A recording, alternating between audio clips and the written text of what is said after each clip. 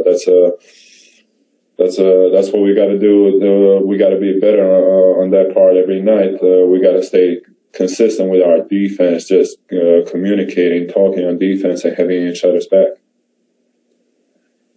Thanks. We'll go next to Ohm. Hey, Zu. Um, Kawhi had said uh, after last night's game that his his level of concern was very concerned with how inconsistent you guys have been. Um, I'm wondering, did you hear that, or did he express that to you guys? And when your star feels that way, how does that resonate with the team when he says his level of concern was high? I mean, he did, he he didn't have to say anything. We we we all we we all know uh, how what's our situation. Uh, we know we all know we got to do much better. Uh, that we can do so much better, and uh, that uh, level of play is not acceptable. The, the way we've been playing for the last ten games, and uh, when your star players, the uh, star player uh, who brings it every night sa- says that, you know, it, it you you got to start from yourself. Uh, you gotta you gotta you gotta bring it to. If uh, you know if if the your if your star player brings it every night, you gotta you can't be you can't be the one who's not bringing it. So we all gotta be better. We we we all know that, and uh, we're we so we we just got to keep building from the, on uh, on the work we did tonight. And how does Marcus change things for that starting lineup when he's in there? Not to take anything away from Nick, because um, as Ty said, Nick has done a great job. But uh, what kind of different look did Marcus give you guys?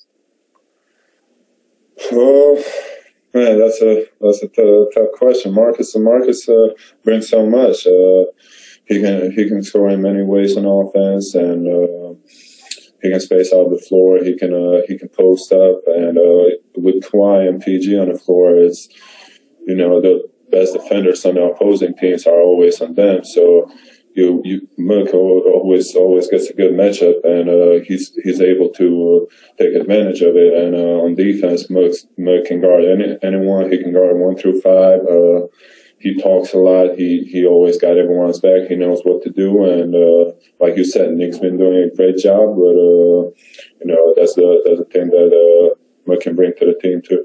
Thanks, Zu. Thanks. We have time for just one more. Go ahead, Mark Medina. Is it good to see? I got I got a random one. I'm trying to ask different guys. Um, do you have a favorite moment with the fans, whether it was like an interaction or just the atmosphere of a specific game? And if so, what, what was that moment? That's tough. That's tough too.